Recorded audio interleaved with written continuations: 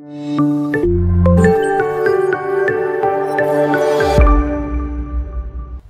Daeng Manambon dikenal sebagai raja di kerajaan Mempawah yang berasal dari kerajaan Luwu. Beliau lahir pada tahun 1695 Masehi dan wafat pada tahun 1763 Masehi yang dimakamkan di Sebukit Terama. Opu Daeng Manambon menjadi raja di Mempawah setelah mangkatnya penembahan Senggaok. Pada waktu itu, mereka berada di Matan. Lalu berangkatlah Opu Daeng Manambon dengan istrinya Ratu Agung Sinihun dan ibunda mertuanya Ratu Mas Indrawati serta para pengikutnya. Kurang lebih 40 sampan atau perahu besar dan kecil dari berbagai suku. Kurang berlayar meninggalkan negeri Matan dengan perasaan haru. Perjalanan yang dilalui tiga hari dalam pelayaran. Sampailah rombongan Opu Daeng Manambon di Kuala Sungai Mempawah tepatnya pada tahun 1737. Opu Daeng Manambon berasal dari Kesultanan Luwu Bugis di Sulawesi Selatan. Ayah Opu Daeng Manambon bernama Opu Tenriburang Dilaga yang melakukan perjalanan dari Sulawesi ke negeri-negeri di tanah Melayu. Opu Tenriburang Dilaga adalah putra dari Opu Lamadusilan, Raja Bugis pertama yang memeluk agama Islam. Opu Tenriburang Dilaga mempunyai lima orang putra yang diajak berkelana ke tanah Melayu. Kelima anak Opu Tenriburang Dilaga itu adalah Opu Daeng Manambon, Opu Daeng Perani, Opu Daeng Celak, Opu Daeng Marewah, dan Opu Daeng Kemasi. Kedatangan mereka ke tanah Melayu menjadi salah satu babak migrasi orang-orang Bugis yang terjadi pada abad ke-17. Opu Tentriburang Dilaga dan kelima anak lelakinya memainkan peranan penting di semenanjung Melayu dan Kalimantan, terutama dalam hal penyebaran agama Islam.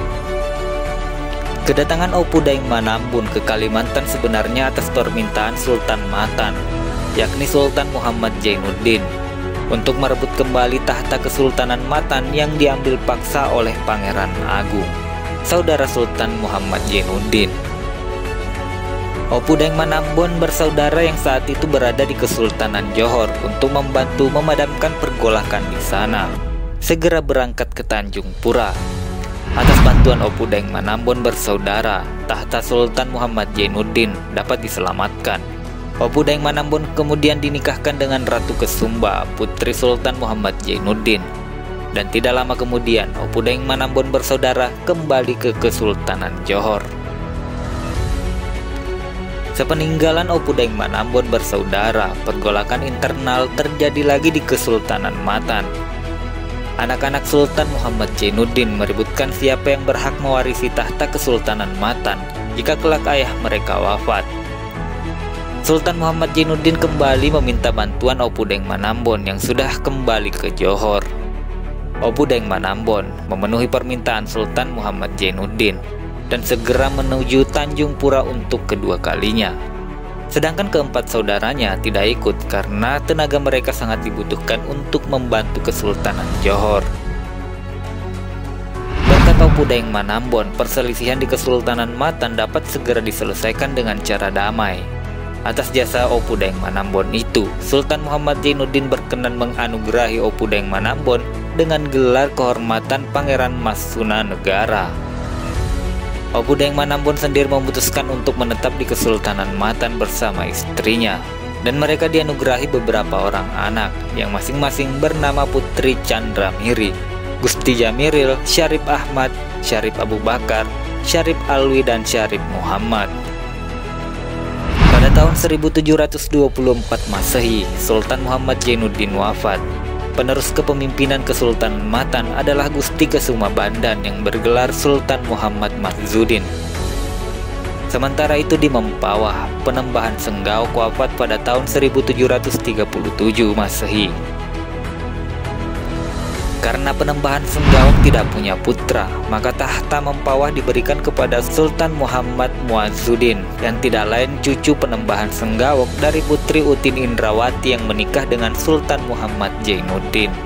Namun setahun kemudian pada tahun 1738 Masehi, Sultan Muhammad Muazzuddin pun mangkat dan digantikan putranya yang bernama Gusti Bendung atau Pangeran Ratu Agung bergelar Sultan Muhammad Tajuddin sebagai Sultan Matan yang ketiga.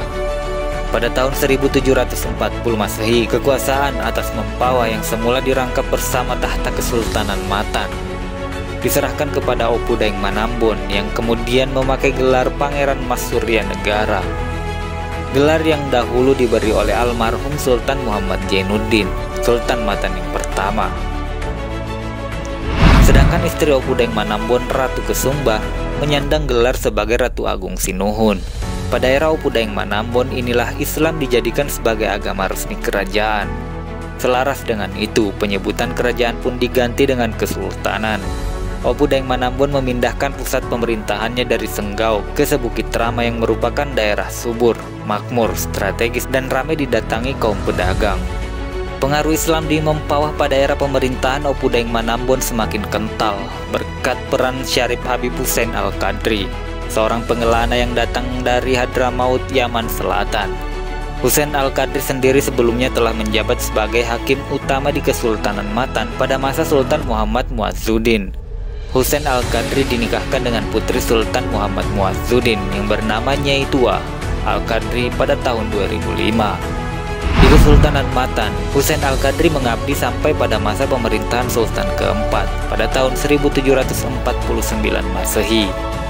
Namun pada tahun 1755 Masehi, Sultan Al-Qadri berselisih paham dengan Sultan Ahmad Kamaluddin tentang penerapan hukum mati. Melihat kondisi ini, Opu Deng kemudian menawari Husain Al-Qadri untuk tinggal di Mempawah. Tawaran itu pun disambut baik oleh Husain Al-Qadri yang segera pindah ke istana Opu Deng Manambon. Husain Al-Qadri kemudian diangkat sebagai patih sekaligus imam besar di Mempawah.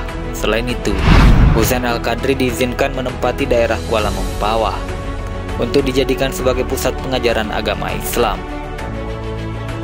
Untuk semakin mempererat hubungan antara keluarga Husain Al-Qadri dan Kesultanan Mempawah, maka diadakan pernikahan antara anak lelaki Husain Al-Qadri yang bernama Syarif Abdurrahman Al-Qadri dengan anak perempuan Opudeng Manambon yang bernama Putri Chandra Miri. Kelak pada tahun 1778 Masehi, Syarif Abdurrahman Al-Qadri mendirikan Kesultanan Kadriah di Pontianak. Pada tahun 1761 Masehi, Opudeng Manambon wafat, dimakamkan di Sebukit Terama. Penerus tahta Kesultanan Mempawah selanjutnya adalah putra Opudeng Manambon, yaitu Gusti Jamiril yang bergelar Penembahan Adiwijaya Kusuma Jaya di bawah kepemimpinan penembahan Adi Wijaya, wilayah kekuasaan Mempawah semakin luas dan terkenal sebagai bandar perdagangan yang ramai.